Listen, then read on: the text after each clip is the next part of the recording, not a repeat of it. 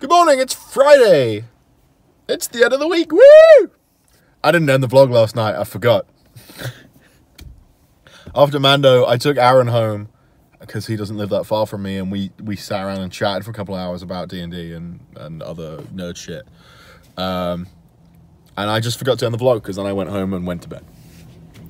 But today, if this car park seems familiar, which it might do at this point, um, I'm back at uni. I have a class in like half an hour, three quarters of an hour. I'm pretty early today.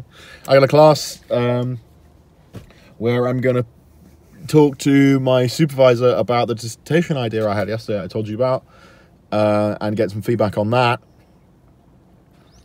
And then I don't know what we're going to do because um, I'm here. It's my friend Ed's birthday today.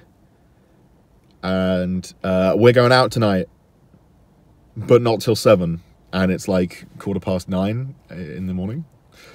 So I guess I'm just to like hang around.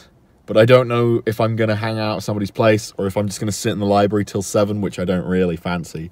Um, yeah, I guess we'll see what the fuck happens. In terms of Mando last night,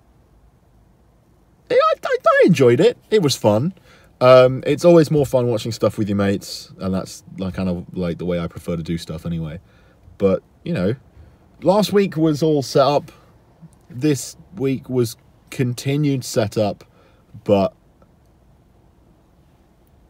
yeah, I don't want to go into spoilers, but for anyone who hasn't seen it, even though this is coming out probably next week. um, but yeah, I, I I enjoyed it. I'm I'm having a good time so far, and I'm interested to see where the plot goes.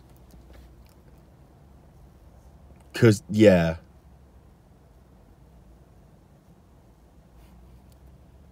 They did a load of stuff in the second episode that I wasn't expecting them to do immediately. I thought it was going to be like mid season. Uh, but here we are. And that's that. Right, I'm going to go and I have some library books to take back actually. So I think I'm going to do that and then go to this class and ask about my dis. It's a fun day. Maybe ask your sister. She has like a thousand. That's what's in Yeah, million. she'll get like a million.